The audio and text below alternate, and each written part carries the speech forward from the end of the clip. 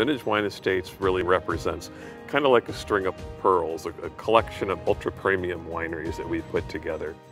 And over the past 15 years, we found different wineries in different regions that have a lot of historical significance to it and a lot of history and tradition that we, we've been able to renovate and reinvigorate with our style of wines. It's kind of like when you're in classic cars and you get to restore the cars and bring the vintage out and bring the quality.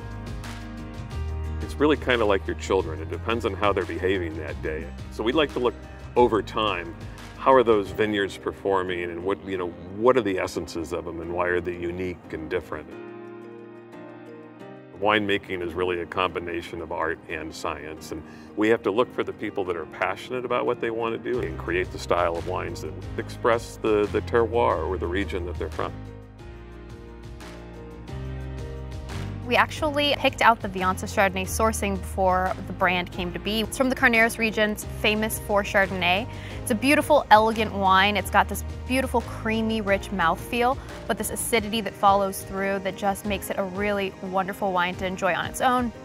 And I think it really speaks to the summit of Sonoma and the sense of place and the vibrancy of the valley.